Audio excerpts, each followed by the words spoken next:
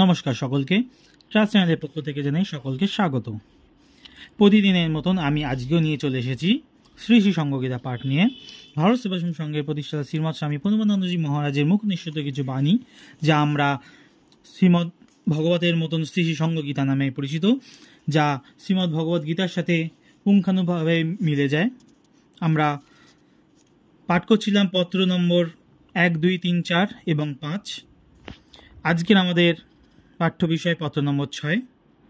পত্র শুরুর আগেই বলে দিই, আপনাদের, আমাদের সাথে থাকার জন্য অশেষ ধন্যবাদ। আপনারা আমাদের চ্যানেলটি লাইক করুন শেয়ার করুন সাবস্ক্রাইব করুন এবং শেয়ার করে সকলের মাধ্যমে এই পত্র, এই দিব্য বাণী সকলকে শোনার সুযোগ করে দিন, যাতে তারা প্রত্যেকে গুরুমজের সাথে যোগাযোগ করতে পারে, যোগাযোগ স্থাপন করতে পারে আপনারা হয়ে উঠুন ভারত সেবাশ্রম সংঘের এক একজন কর্মী। এইভাবে আপনারা যুক্ত থাকতে পারেন। আজকে আমার পত্র ছয় আমি পাঠ শুরু করছি। ওম নম শ্রী ভগবতী প্রণবায় পত্র পাঠানো হচ্ছে ভারত সেবাশ্রম সংঘ কলিকাতা উনিশশো তেইশ ডিসেম্বর। স্নেহে, স্নেহের অমুক। সতত মৃত্যু চিন্তা করিয়া বিষয় বুদ্ধি লোপ করিও। ইন্দ্রিয়ে চঞ্চলতাকে সংযত করিবে। রিপুর উত্তেজনাকে নষ্ট করিবে।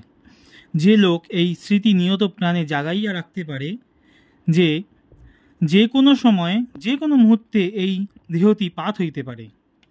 এই যে আমি এই স্থানে অবস্থান করিতেছি, এই যে কোনো মুহূর্তে এই এখান থেকে চলিয়া যাইতে পারি, তা হইলে বাজে চিন্তা, ভাবনা আসিয়া আর তোমাকে বিব্রত করিতে পারিবে না।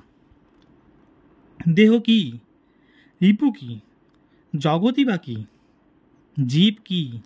ইন্দ্রিয়ই বা কি?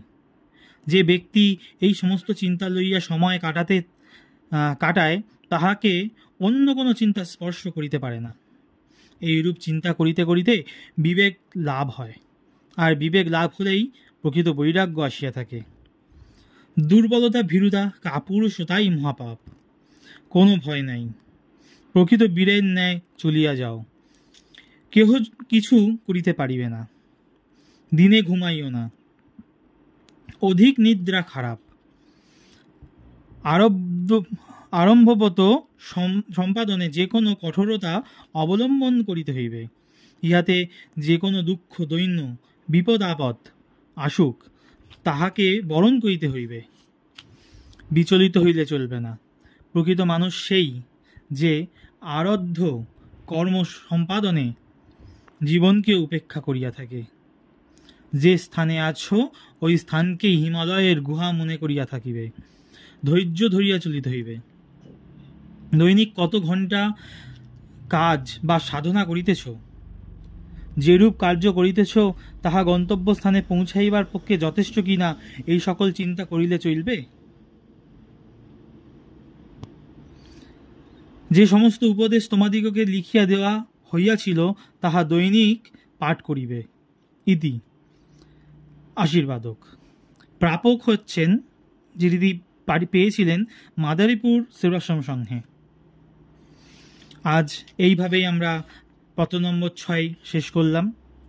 আমাদের সাথে থাকার জন্য অশেষ ধন্যবাদ। ভারত সেবাশ্রম সংঘের জয় হোক। গুরু মহারাজের জয় হোক। সত্য সনাতন হিন্দু ধর্মের জয় হোক।